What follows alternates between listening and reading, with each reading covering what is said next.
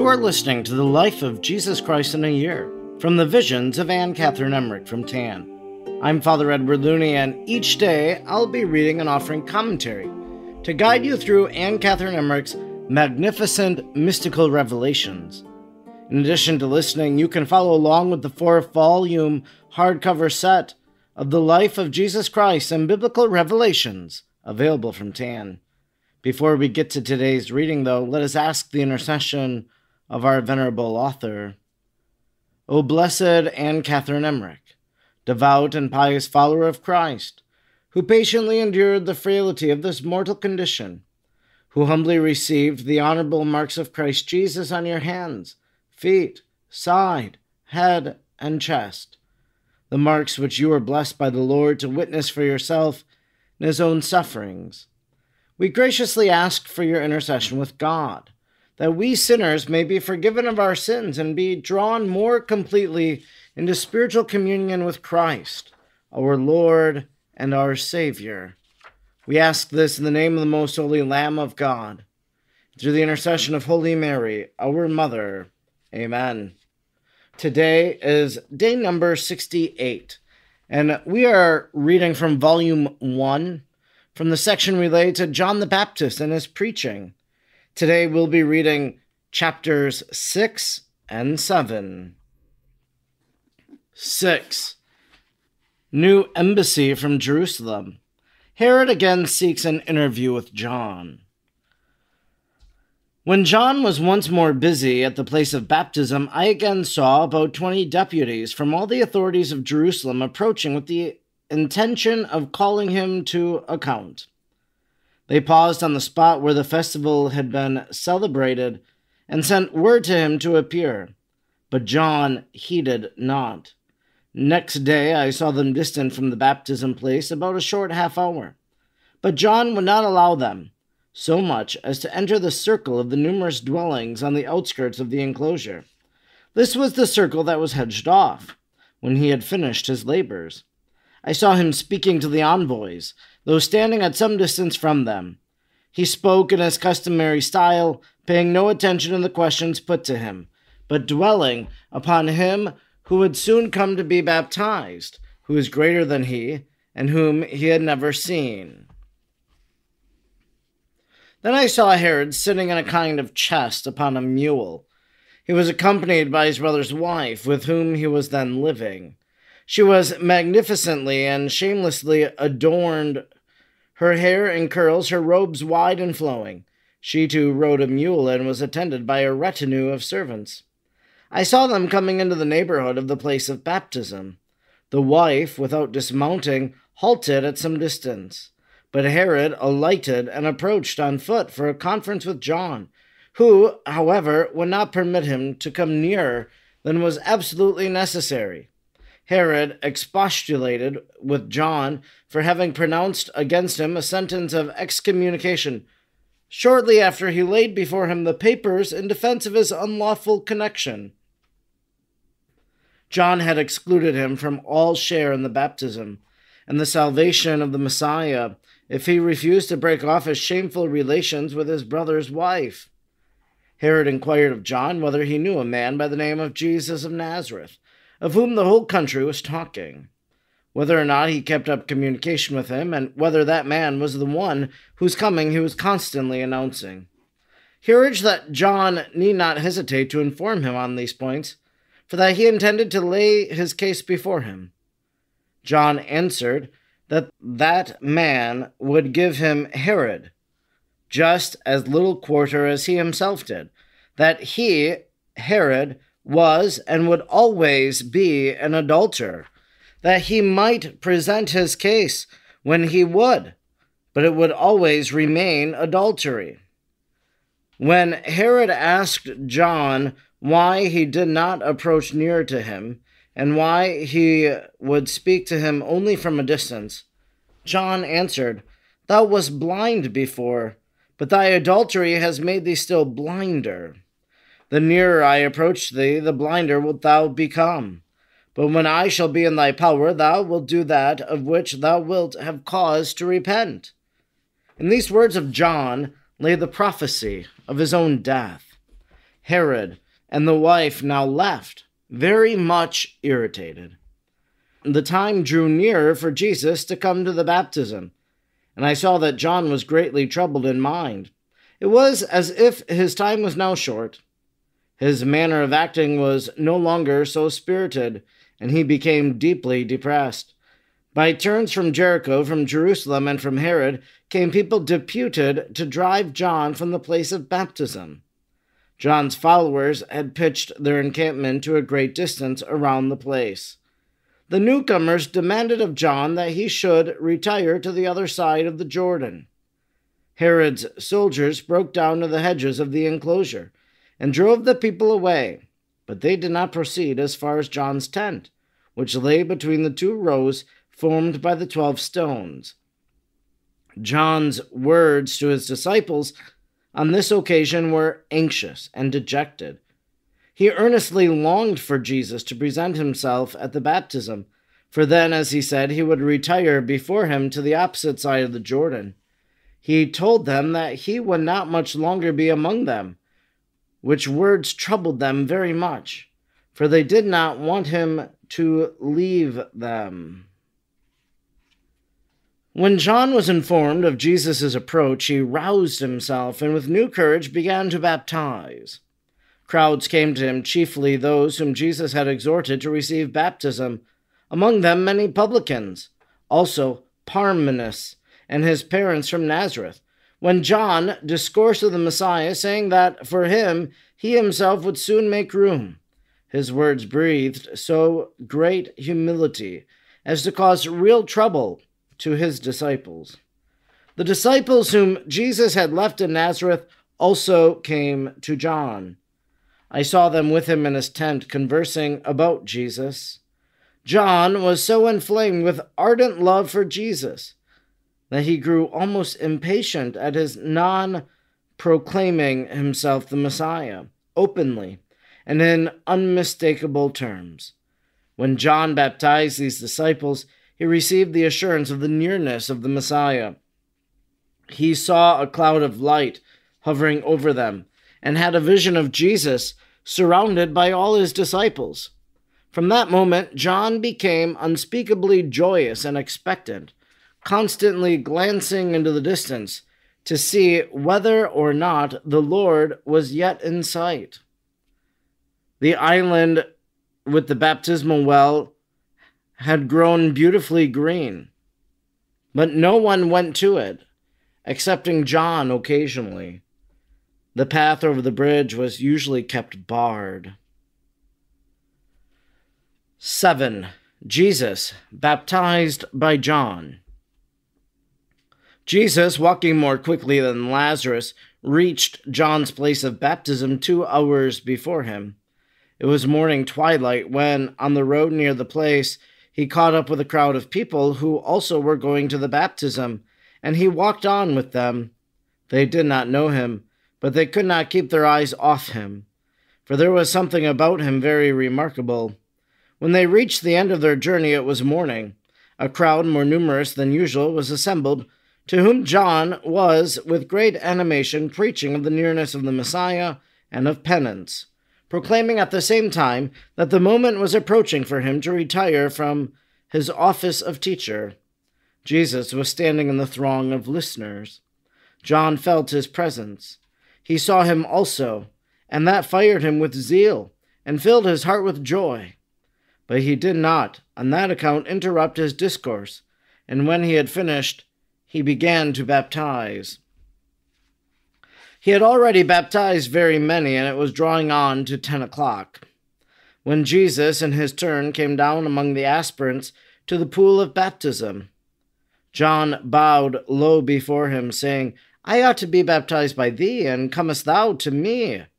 Jesus answered, Suffer it to be so now, for so it becometh us, to fulfill all justice, that thou baptize me, and I by thee be baptized. He said also, Thou shalt receive the baptism of the Holy Ghost and of blood. Then John begged him to follow him to the island. Jesus replied that he would do so, provided that some of the water with which all were baptized should be poured into the basin, that all present should be baptized at the same place with himself, and that the tree by which he was to support himself should be transplanted to the ordinary place of baptism, that all might share the same conveniences. The Saviour now went with John and his two disciples, Andrew and Saturnin. Andrew had followed those disciples and adherents of the Lord whose conversation between Capernaum and this place has been recorded above. They crossed the bridge to the island and into a little tent that, close to the eastern edge of the baptismal well, had been erected for the purpose of robing and disrobing.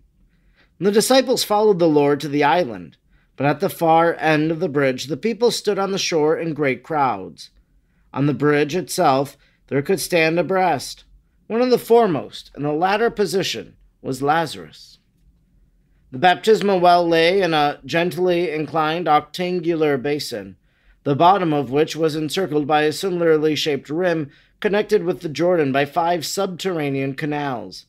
The water surrounded the whole basin, filling it, though incisions made in the rim, three in the northern side serving as inlets, and two of the southern acting as outlets. The former were visible, the latter covered, for at this point were the place of action and the avenue of entrance. For this reason, the water did not here surround the well. From this south side, sodded steps led down into it by inclination of about three feet in depth. In the water off the southern shore was a red, triangular, sparkling stone sunk close to the margin of the basin. The flat side toward the center of the well, the point toward the land. The side of the well, upon which were the steps leading down into it, was somewhat higher than the opposite one. This latter, vis a vis the north side, was the one with the three inflowing canals. On the southwestern side was a step leading to the somewhat deeper part of the margin, and on this side only was there access to the well. In the well, in front of the triangular stone, there stood a green tree, which had a slender trunk. The island was not quite level. It was rather elevated toward the center and in some parts rocky. It was covered with moss, and in the middle of it was the wide spreading tree, connected with which were the tops of the twelve trees planted around the edge of the island. Between every two of the trees was a hedge of several small shrubs.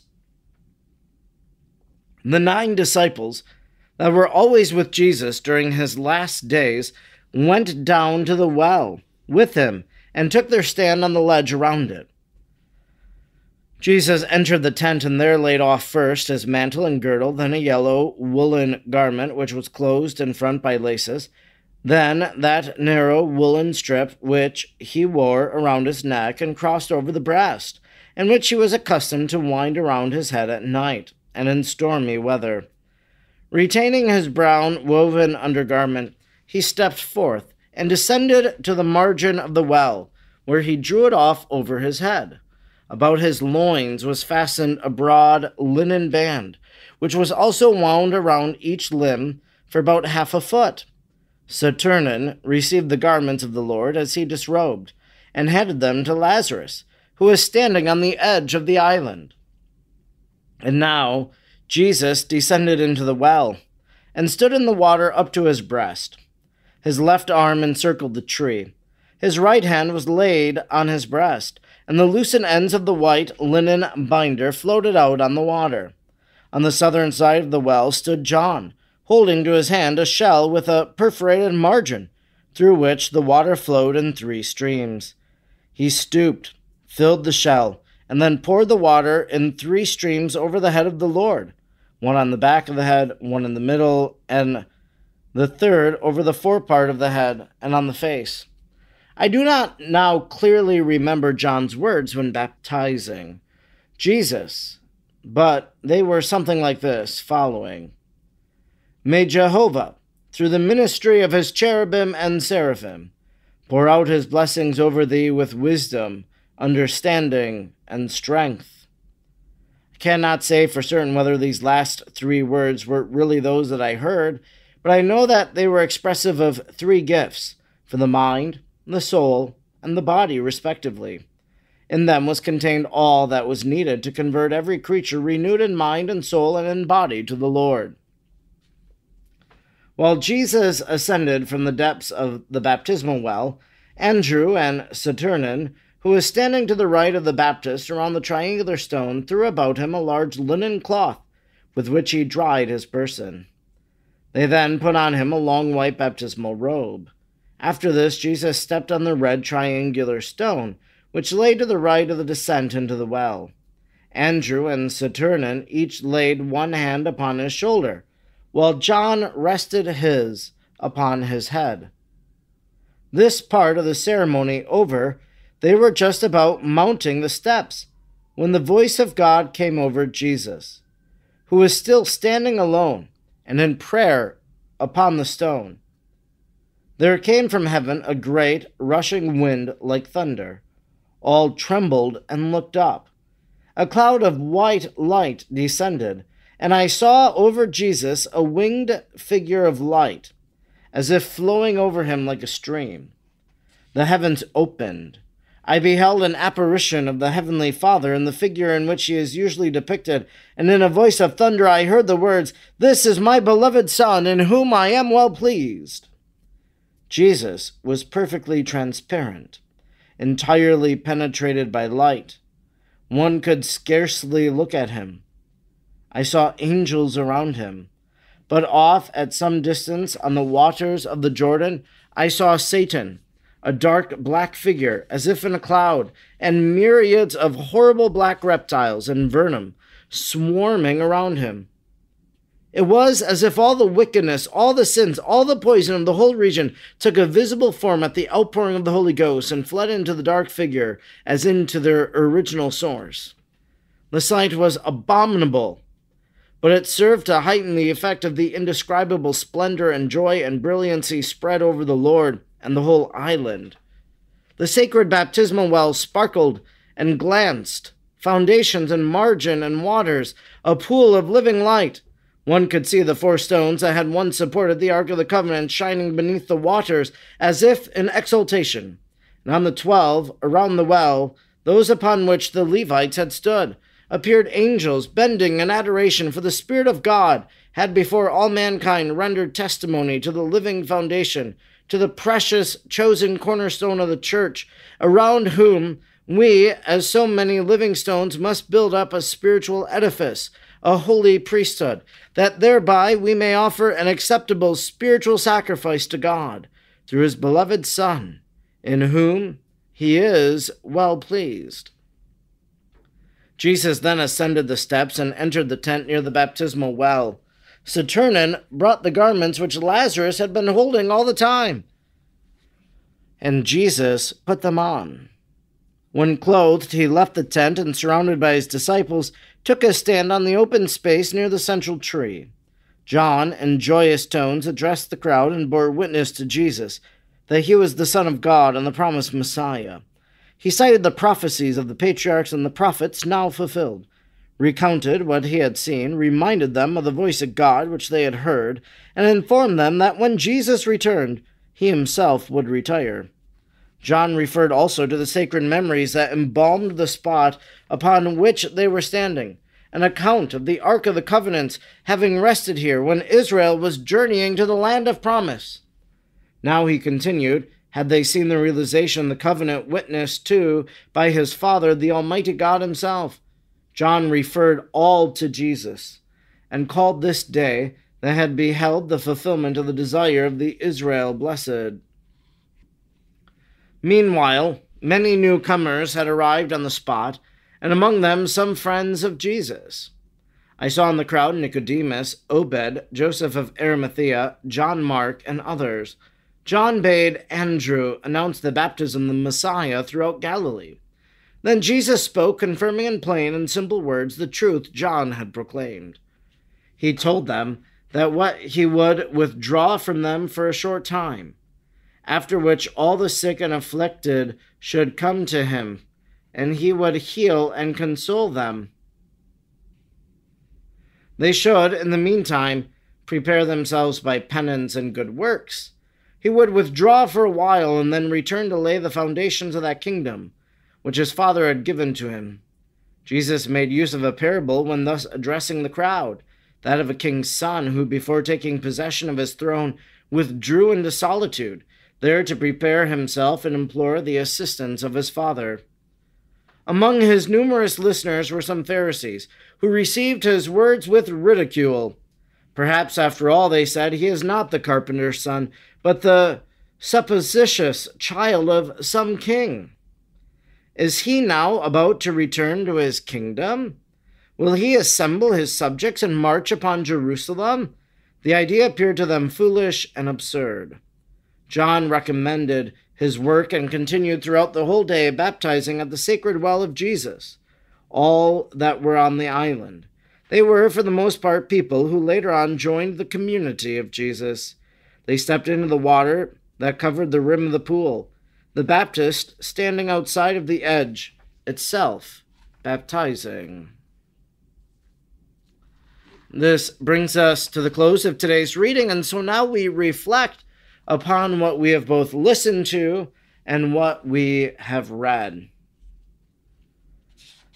So these chapters number 6 and number 7 really they're leading us to this very pinnacle moment in which John the Baptist will fulfill his purpose and then it seems as he attests will step aside Again, we heard today this phrase, whom he had never seen. And again, I've talked about this almost every day for the last several days about how that seems to be a contradiction. We won't go on any further about that. We also see the kind of the relationship, if you wish, between Herod and John, this strained relationship because John isn't going to hold anything back. And so he's told Herod that he is committing adultery. And we know that in the passion account of John the Baptist, this is the very reason why John the Baptist is beheaded. And so we see the tension as it's building. Herod comes wanting to know more about Jesus.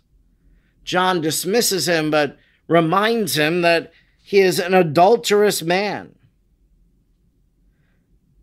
John had excluded him from a share in the baptism and the salvation of the Messiah. Think about the rage that must have filled Herod. John the Baptist realized he wasn't willing to repent and he couldn't participate in the baptism of repentance then. Herod inquired of John whether he knew a man by the name of Jesus of Nazareth, whom the whole country was talking, whether or not he kept up communication with him, and so forth. And and so Herod wants to know about Jesus, but John is careful. He guards his knowledge, does not want to share it with Herod, of course, knowing that Herod would have malintentions. Now, what we hear too, John the Baptist tells Herod, Thou wast blind before, but thy adultery has made thee still blinder. The nearer I approach to thee, the blinder will thou become. He can't approach baptism because he'll become more blinded by his sin. He needs to leave that sin first behind. And then, uh, as uh, number six comes to a close, it says that John earnestly longed for Jesus to present himself at the baptism. It's like John is getting tired. John knows that his mission isn't for much longer. He almost innately knows that Jesus is coming. And this, you can almost picture this.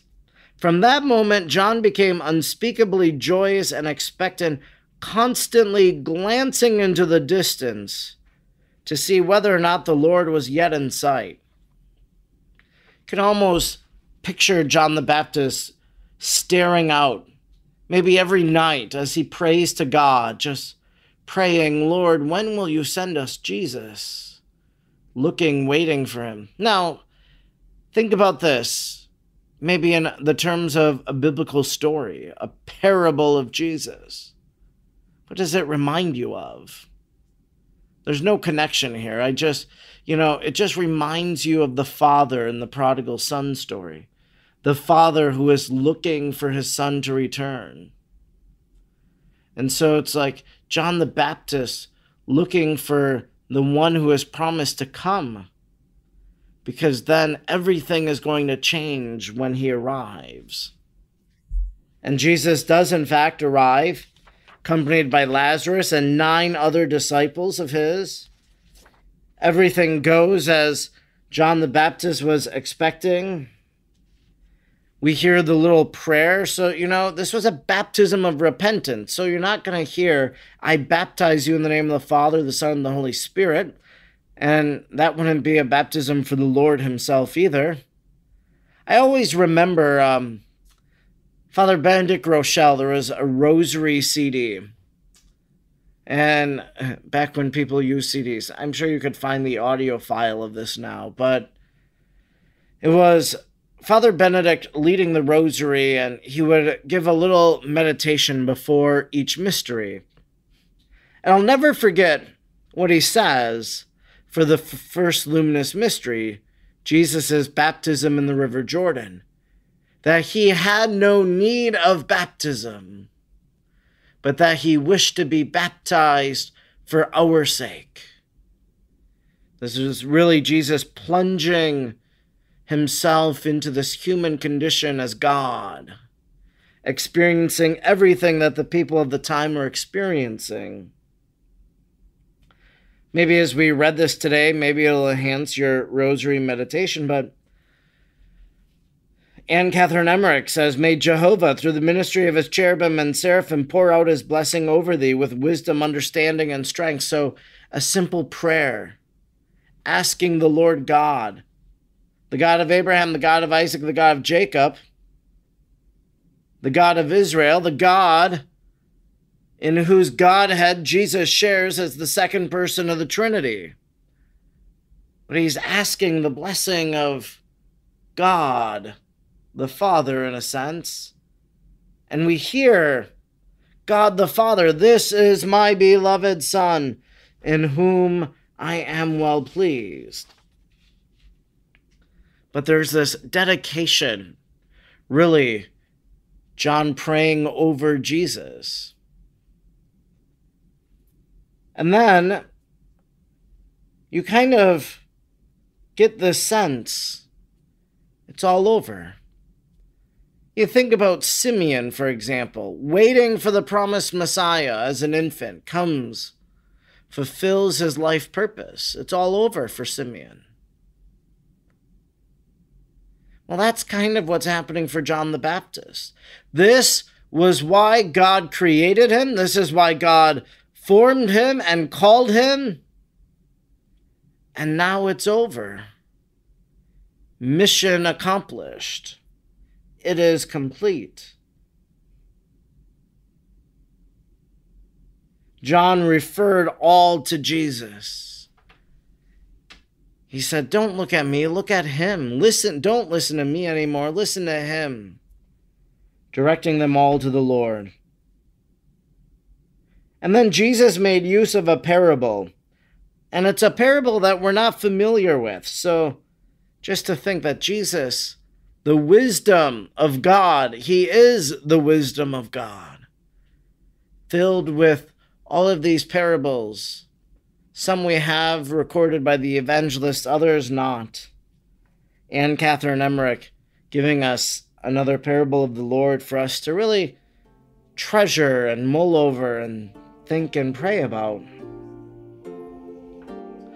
Well, this brings us to the close of today's reading. I hope that you'll join us again tomorrow as we continue making our way through the life of Jesus Christ and biblical revelation. Please be sure to subscribe to the podcast and sign up for email notifications at emmerichpodcast.com and use coupon code ACE25 for 25% off your next order at tanbooks.com.